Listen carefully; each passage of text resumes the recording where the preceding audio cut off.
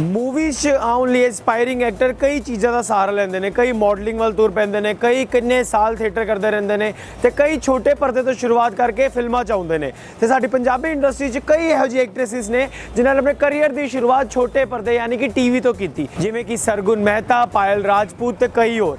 ਲੇਕਿਨ ਅੱਜ ਮੈਂ ਜਿਹੜੀ ਐਕਟ੍ਰੈਸ ਦੀ ਖਬਰ ਲੈ ਆਵਾਂ, ਉਹਨਾਂ ਨੇ ਟੀਵੀ ਤੇ ਕੀਤਾ ਹੀ ਕੀਤਾ ਨਾਲ ਕੀਤੀ ਹੈ ਇੱਕ ਬਾਲੀਵੁੱਡ ਮੂਵੀ ਤੇ ਹੁਣ ਉਹ ਨਜ਼ਰ ਆ ਰਹੀ ਹੈ ਪੰਜਾਬੀ ਮੂਵੀ ਦੇ ਵਿੱਚ ਗਿੱਪੀ ਗਰੇਵਾਲ ਦੇ ਨਾਲ।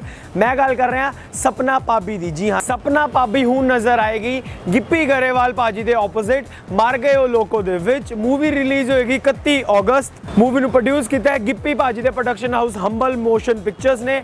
ਤੇ ਜੇ ਮੈਂ ਮੂਵੀ ਦੀ ਹੋਰ ਡਿਟੇਲ ਦਵਾਂ, ਤਾਂ ਮੂਵੀ ਦੇ ਵਿੱਚ ਬਿਨੂ ਢਿੱਲੋਂ ਵੀ ਨਜ਼ਰ ਆਣਗੇ ਬਹੁਤ ਅੱਛਾ ਲੱਗਦਾ ਜਦੋਂ ਕੋਈ ਬਾਲੀਵੁੱਡ ਫੇਸ ਪੰਜਾਬੀ ਸਿਨੇਮਾ ਦਾ ਰੁਖ ਕਰ ਲੇ ਵੀ ਵਿਸ਼ ਸਪਨਾ ਪਾਬੀ 올 ਦ ਵੈਰੀ ਬੈਸਟ ਪੂਰੀ ਖਬਰ ਪੜ੍ਹਨ ਲਈ ਜਾਓ gabru.com ਤੇ ਔਸਮ ਵੀਡੀਓਜ਼ ਵੇਖਣ ਲਈ ਸਾਡਾ YouTube ਚੈਨਲ ਸਬਸਕ੍ਰਾਈਬ ਕਰੋ ਬੈਲ ਆਈਕਨ ਦਬਾ ਕੇ ਨੋਟੀਫਿਕੇਸ਼ਨਸ ਔਨ ਕਰੋ ਲਾਈਕ ਸ਼ੇਅਰ ਕਮੈਂਟ ਕਰਨਾ ਨਾ ਭੁੱਲਣਾ ਤੇ ਮੈਂ ਤੁਹਾਨੂੰ ਮਿਲਾਂਗਾ ਅਗਲੀ ਖਬਰ ਦੇ ਨਾਲ ਕਪਰੂ.com ਪੰਜਾਬ ਦਾ ਇੱਕੋ ਇੱਕ ਯੂਥ ਪੋਰਟਲ